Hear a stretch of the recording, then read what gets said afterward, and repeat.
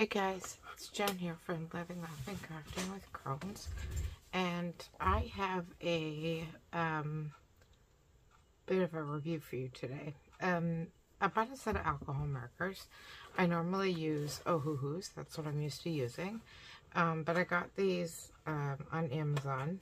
They cost me $43 for a set of 120 And uh, the brand is uh, called Col Colpart and uh, most of the cheaper markers you can find have a chisel and a bullet nib, but never a brush. Um, what intrigued me about these was that they actually came with a brush nib. So I thought if it comes with a brush and it's any good, that's going to be a great deal.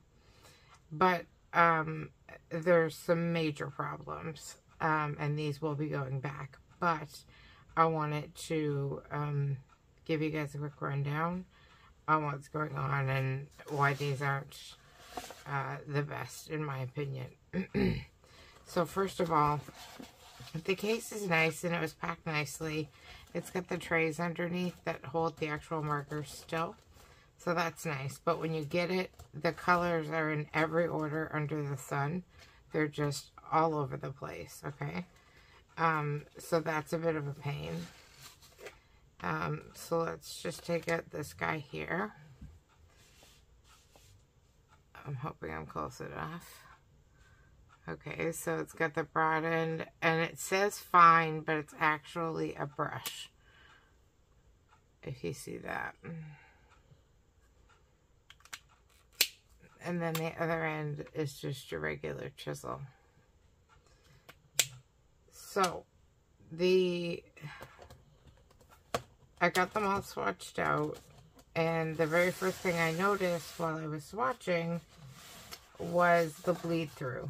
Now, all alcohol markers are going to bleed to the back of the paper. Um, these are, these are these ones, but even on my Ohuhus, they're all going to bleed through. But on the Ohuhus, they never bleed to the next page on my 67 pound cardstock. Um, after starting a picture, um, and actually after swatching, um, they were leaking um, onto my scratch paper underneath.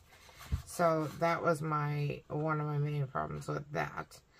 And then um, also the brush nib is not great. It's uh, it feels like it might last two or three uses before it frays and is no good. Um, also, the markers all feel almost empty. And I did get quite a few duds that are dry. Um, so this is the picture that I had started with these to see how they performed. And I hated them so much I didn't even finish it. Now, um, you, you should be able to see all of the lines uh, in the green there.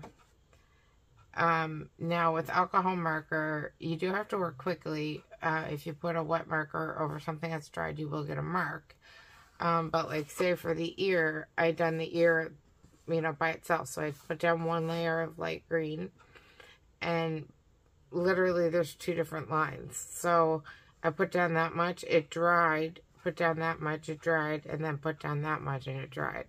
So they dry so incredibly quickly that you can't blend them well at all. And you can definitely see it in the face as well.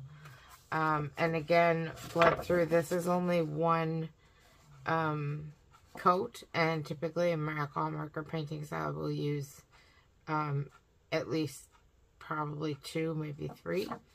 So uh, that's definitely a problem. Um, was there anything else? Oh, the, the color selection was the other thing that's not fantastic. Um, they're really, really heavy on the reds. Uh, the yellows are quite poor. There's a few. Um, as for skin tones, you might, there's a couple here and a few pinks and some purples. And then again, they're super heavy on the blues. So, yeah, so the, the uh, selection is not great, the color selection either. So, these will be going back to Amazon, but I wanted to give you guys uh, a quick little rundown of these. Um, and uh, just to kind of give you a fair warning. Uh, but I do have quite a few, some more pencils that have just come in, and our pens, I apologize, and I'm going to be doing some unboxing, some testing, swatching, and all kinds of things, so um, we'll get to that. But, um, in my opinion, not worth it, especially for 43 Canadian dollars. It's not worth it. Don't bother. Okay, guys, thank you so much for watching. Don't forget to hit the like, subscribe, uh, subscribe button and hit the bell notification so you don't miss any other videos. Bye, guys.